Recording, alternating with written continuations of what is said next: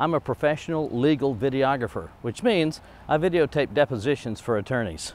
Yes, I shoot lawyers for a living. And I use the Upcart Deluxe to take my camera gear to those depositions. I acquired a plastic crate similar to a milk lug that would fit the Upcart platform. Oh man. A good friend of mine once showed me a great idea using toilet paper cores to wrangle video cables and microphone cables. Great idea. Ha.